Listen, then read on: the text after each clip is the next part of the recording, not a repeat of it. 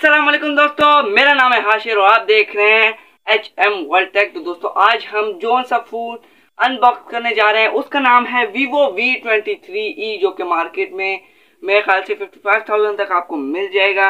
इसमें दो मोबाइल आते हैं, एक दोनों आठ जी बी रैम और एक एक सौ अट्ठाईस जी बी और एक एक जो है वो छप्पन जी बी में हमें देखने को मिल जाता है। एक जो है ब्लैक कलर में आता है और एक वाइट कलर में। इनमें एक वाला मून कलर है और जो वाला है, वो ब्राइट ब्राइट वाइट कलर में आता है।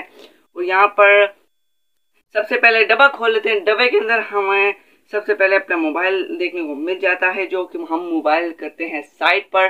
मोबाइल देखने को मिल जाता है। इसके बाद इसका कवर आ जाता है। जी, जो कि मुझे पर्सनली बहुत अच्छा लगा। सॉफ्ट कवर है। और इसके अलावा एक टाइप सी केबल भी हमें देखने को मिल जाती है। चवालीस वाट का चार्जर भी हमें देखने को मिल जाता है, जो कि फास्ट चार्जर है इस मोबाइल का।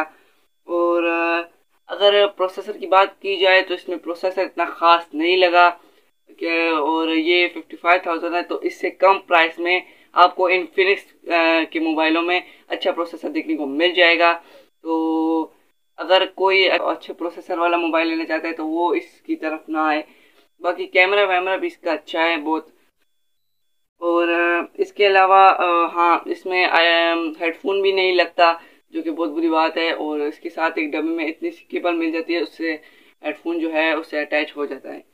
और यहाँ पे मून लाइट कलर में हमें देखने को, यहाँ जो हमारा मोबाइल है, वो हमें देखने को मिल जाता है।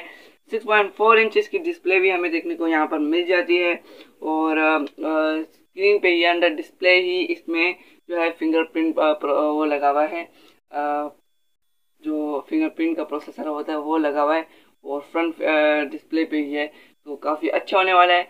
और इसमें अगर आप बाय करना चाहते हैं तो डिस्क्रिप्शन में नंबर है, उधर से जाके बाय करें। बस इस वीडियो में नहीं मिलेगा। जल्दी नेक्स्ट वीडियो में। अल्लाह हाफिज़।